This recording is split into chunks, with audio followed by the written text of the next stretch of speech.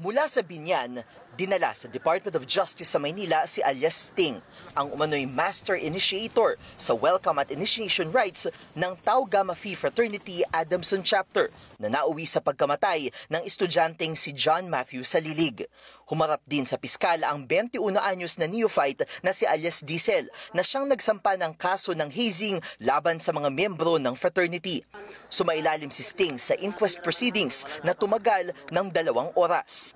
From the very beginning hanggang dun sa pagbabaon ng uh, cadaver ng biktima, nandun siya. Kung paano lang nila plinano, kung sino yung mga kausap na tao, uh, until uh, hanggang dun sa pagbabaon ng bangkay.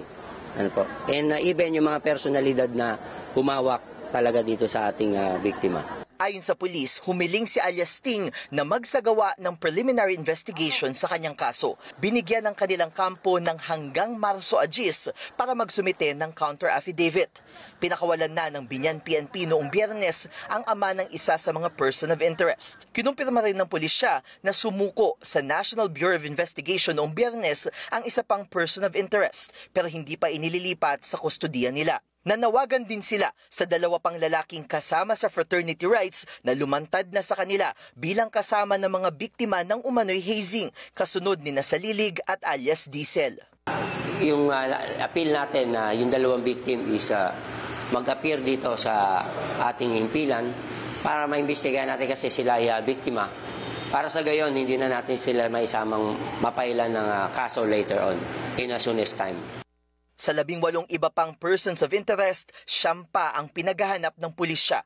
Nakasuhan na at nasa kustodiya nila ang pito habang namatay na ang isa. Sabado ng madaling araw, isinuko sa presinto ang isang gray na SUV na pagmamayari ng pamilya ng Grand Triskelion ng Tau Gamma Phi Adamson Chapter. Tatlo na ang mga sasakyang hawak ng Binyan PNP kaugnay sa kaso ng umanay hazing. Una-una itong kulay asul na SUV na sinasabing sakay ni John Matthew Salilig nang binawian siya ng buhay.